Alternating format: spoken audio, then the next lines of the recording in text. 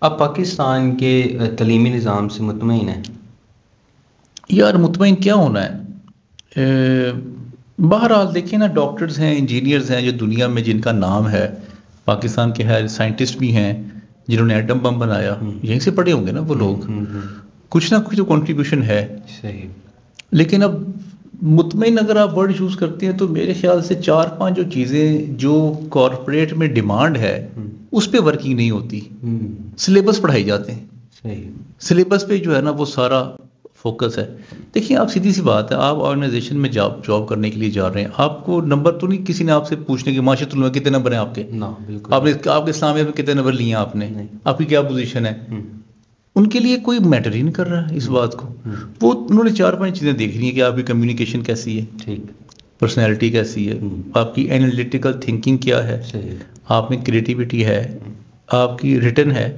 یہ پانچ سکلز ہیں جو ریکوائرڈ ہیں آرگنائزیشن میں جاب کرنے کے لیے۔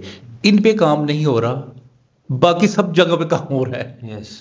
آپ یہ اتنے لمبے لمبے پیراگراف یاد کر کے آ جائیں۔ رٹے لگوائے جا رہے ہیں۔ وہ سارا کچھ ٹھیک ہے۔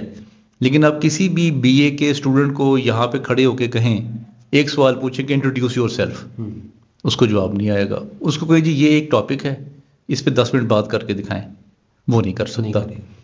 تو یہ پانچ چیزیں میرے خیال سے اگر اور نے اپنے ایجوکیشن سسٹم میں انکلوڈ کر لیں کر لی جائے تو مزید بہتری ہو سکتی ہے۔ یس اب میرے خیال سے وہ سیلف رائٹنگ کی طرف لوگوں کو صحیح ٹائم پہ لایا نہیں گیا۔ اگر اسی وقت جو ہمارے پروفیسرز ہمارے جو ٹیچرز ہیں وہ صحیح ٹائم پہ کہنا شروع کر دیتے مجھے بھی بھی یاد ہے کچھ کلاسز ایسی گزری ہیں جس میں ہم یہ کہتے تھے مس ہم اپنی طرف سے یا ٹیچر ہم اپنی طرف سے اس کو ایڈ کر دیں تو وہ ہمیں سختی سے منع کرتے تھے نہیں جو ہے وہ ایز اٹ از کریں۔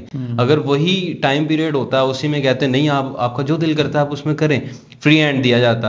اور ہماری تو پوزیشن اس وقت آنا شروع ہوئی جب ہمیں بتایا گیا کہ بھائی سیلف رائٹنگ زیادہ اچھی آپ کو نمبر دے سکتی ہے۔